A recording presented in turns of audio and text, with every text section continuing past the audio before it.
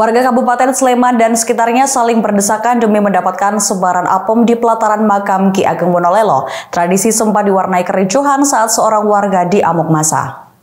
Tradisi saparan dan kirap pusaka di pelataran makam Ki Ageng Wonolelo, Widodo Martani ngemplak Sleman diwarnai kericuhan.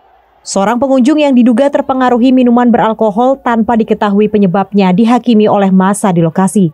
Beruntung petugas keamanan di lokasi segera mengamankannya dan membuat suasana kembali kondusif. Nah ini uh, apa ya uh, bentuk apem ini ya ini kan tradisi di kampung sini uh, mendekati Pondok Kalelo ya ini buat perayaan kebutuhan apem ya. Uh, ya kalau bisa sih ini kan uh, adat sama budaya di sini ya kalau bisa itu dikembangkan biar uh, apa itu menarik ya menarik bisa itu menarik wisata gitulah kalau bisa dikembangkan. Dalam tradisi saparan dan kira pusaka ini, ribuan warga Sleman dan sekitarnya rela berdesakan di pelataran makam Ki Ageng Wonolelo. Tujuannya demi mendapatkan apem yang disebar oleh sejumlah ulama desa yang mengenakan kain serba putih dari atas tower.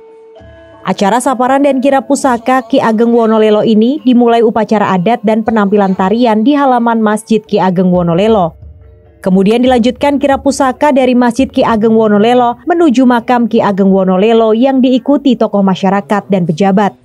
Tiba di makam, ulama dan masyarakat melangsungkan tahlil dan doa bersama, kemudian membagikan gunungan dan ribuan apem. Sampai itu membawa oleh-oleh sejenis kue, kue gimbal, tapi karena eh, yang datang banyak, itu eh, kuenya kurang, terus Ki Ageng Wonono menyuruh istrinya Ki Ageng Wonono untuk membuatkan kue seperti kue gimbal dan dinamakan kue apem yang berarti afun atau ampunan. Sementara itu, tradisi saparan digelar pada bulan Sapar setiap tahunnya atau bulan kedua dalam kalender Islam. Tradisi sebagai bentuk syukur warga kepada Tuhan atas pemberian hasil panen melimpah, rejeki, kesehatan, dan dijauhkan dari mara bahaya. Dari Sleman, Galih Wisma, iNews melaporkan.